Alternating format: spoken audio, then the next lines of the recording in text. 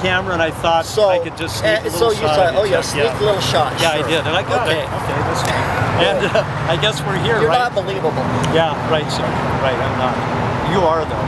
Anyway, is there any other question that I can answer for anybody? I'm, I'm totally open to anything. I mean, we've got a lot of information about the Cox family and about Susan, a lot of it from her journals, a lot of it from Josh's, you know, he lived with Susan for eight years before she left.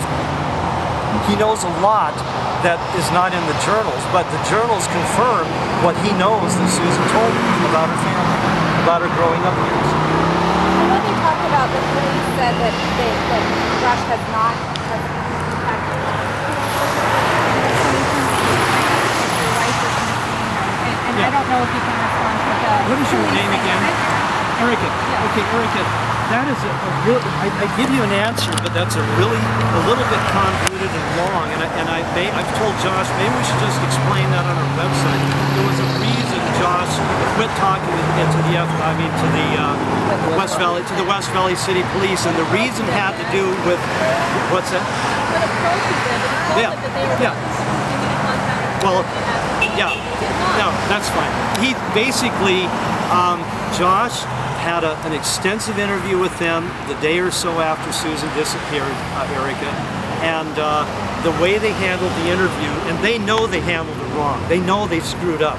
There, if you go back to December 2009, they themselves admit there's a controversy over the reasons Josh quit contacting them and got himself an attorney. There's a controversy within, an internal controversy in the West Valley City Police. But that was It's because 20 hours of interrogation. that was because they screwed up. And, and you know, I, as I told Josh, we should probably explain that on our website. We're not. Ta- I, I doubt that Josh will ever talk to the West Valley City Police, again, but he'll talk to the FBI. They just have to call.